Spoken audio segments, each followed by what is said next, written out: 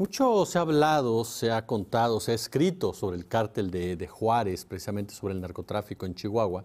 Voy a platicar con un gran periodista y escritor que tiene un libro muy recomendable al respecto, que se titula efectivamente Cártel de Juárez. Es el maestro Francisco Cruz Jiménez. Mi querido Paco, te saludo como siempre con muchísimo gusto, agradeciéndote tu generosidad con la, con la octava. Y lo primero que te preguntaría, lo primero que te pediría es tu lectura de lo que pasó en Ciudad Juárez se hablaba mucho de que ya se estaba pacificando, pero ahí están los datos, ahí están las cifras de que la violencia siempre ha acompañado a esta ciudad y el cártel de Juárez de una u otra manera con sus derivados, con la gente que trabaja o no trabaja para ellos, sigue siendo un factor. Te saludo con gusto, ¿cómo estás? Jesús, ¿cómo estás? Buenas tardes. Pues mira, no a la orden siempre. La, la realidad es que la violencia como la que se vivió en las últimas horas en Ciudad Juárez nunca va a ser producto de la casualidad ni es producto de, un día para otro. Es una violencia que se empieza a generar en 1911, cuando empiezan a tomar eh, forma las, ah, las organizaciones del crimen organizado en este país. Y se, se, da de tal forma que hoy la violencia que vemos es producto de que nunca se ha atendido ese problema. No, no, no lo ha hecho ningún gobernador, no le ha prestado, no le, mira, no le prestó atención este Javier Corral Jurado, no le prestó, no le prestó atención César Duarte Juárez, ni, ni José Reyes Terrazas Baeza, ni Patricio Martínez, ni Francisco Barrio Terrazas, y podemos ir más atrás. Sí, de pronto, mira, parece que se duerme, que hay un impasse, pero no, la violencia está presente ayer, como ayer, siempre está presente. Fue la detona un enfrentamiento en el Centro de Readaptación Social en Ciudad Juárez, pero pudo haber sido cualquier cosa. ¿Por qué? Porque hay, un, eh, hay una demostración de fuerza de que están presentes, de que, de, que las organizaciones como el Cártel de Juárez, como, como los grupos que la detonan ayer que pertenecen al Cártel de Sinaloa, tienen la tendencia a controlar poblaciones enteras de Ciudad Juárez o zonas enteras y que se parecen prácticamente al terrorismo. Mira, ya no hay mucha diferencia. Yo entiendo y me queda claro que en México no hay organizaciones terroristas como las conocemos normalmente o como es la, definición internacional. Pero tenemos ayer producto de muchos años, producto de décadas, de décadas, como lo decían en las notas anteriores, producto de décadas de, de, grupos que tienen la tendencia a aterrorizar, a violentar, a coaccionar por la búsqueda y por el control de espacios. Entonces, es una violencia, mira, que nunca, nunca como esa va a ser, primero, producto de las casualidades, y segundo, es producto de que ningún otro gobernador antes, pues yo, yo te dije algunos, pero podemos ir más atrás, ¿eh?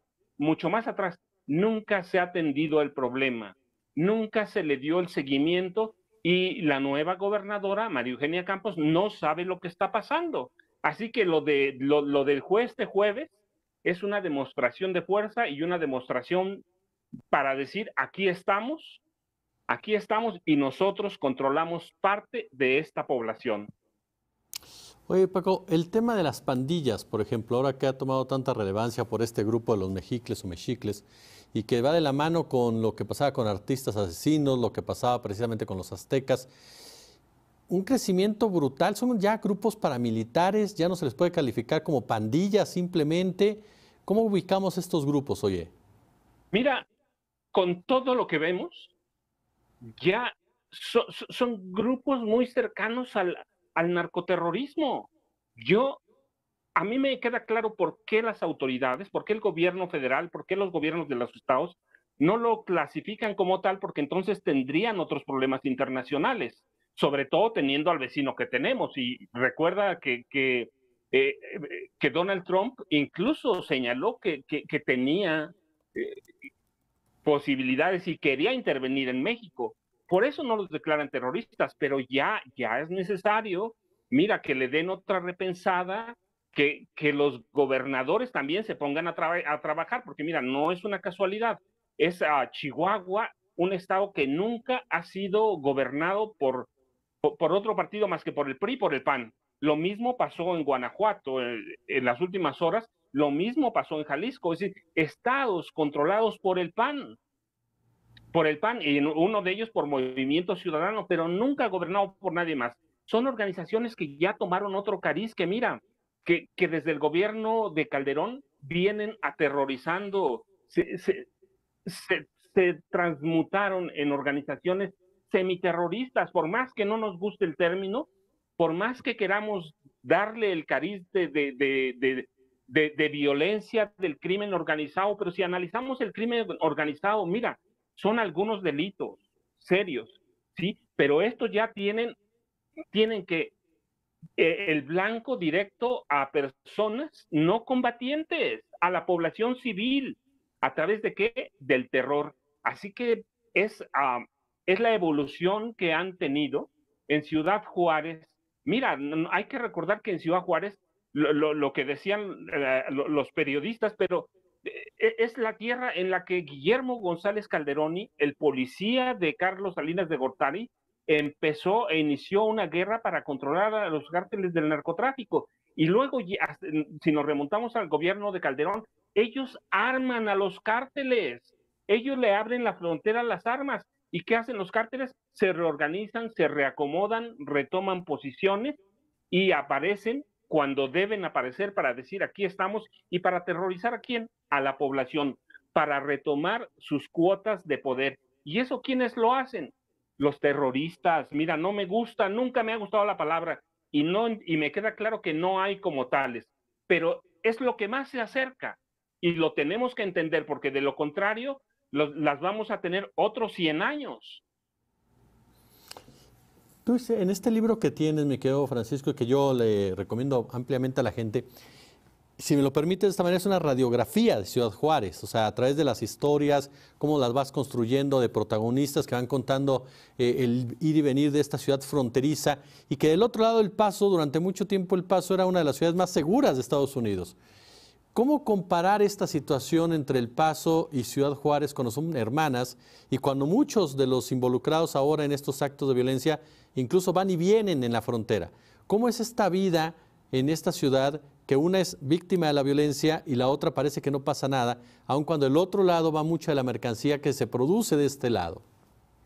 Porque mira, eh, eh, el paso es un territorio de paz, es un, es un territorio eh, que tiene el gran centro financiero. Mira, los cárteles invierten ahí, recuerda, la primera mujer ah, de, la belleza del narcotráfico involucrada en tal y juzgada y condenada se da en el paso. Dolores Camarena, esposa de un capo de la droga. Entonces, es un territorio de paz. El gran territorio de guerra es Ciudad Juárez, pero ¿por qué se da? Por la corrupción que por la corrupción histórica, la podemos seguir hasta 1911. Las matanzas ciertamente en el 25 la gran matanza de los chinos que se da con la complacencia de la policía, bombazos en el 38 para eliminar rivales políticos, que eh, José Borunda Escorza, y, y lo podemos seguir, podemos seguir la violencia año por año. ¿Por qué? Por la gran corrupción y la gran complicidad de las autoridades que, dejaron evolucionar a estos grupos en Ciudad Juárez y tomaron el paso como un área, un área de paz, una ciudad de descanso, una ciudad para lavar el dinero y un paraíso que les permite llevar droga a otros lados. No es que no haya corrupción, es que la mantienen como paz para poder brincar a otras ciudades de Estados Unidos. Mi querido Francisco Cruz Jiménez, yo como siempre te agradezco muchísimo este tiempo, tu lectura. De verdad, ya sabes, mi admiración y respeto. Y muchas gracias por tu generosidad con la octava. Al contrario, Jesús, mira, nomás recordarle, la violencia es circular desaparece un tiempo, pero regresa. Mientras no combatan las raíces que dieron origen al narcotráfico y al terror, lo vamos a tener de vez en vez y a menudo. Totalmente de acuerdo. Me quedo maestro, fuerte abrazo. Gracias, hasta luego, un abrazo también. Gracias, Francisco Jiménez. Son las 6 con 28 minutos, 6 con 28 aquí en la capital de la República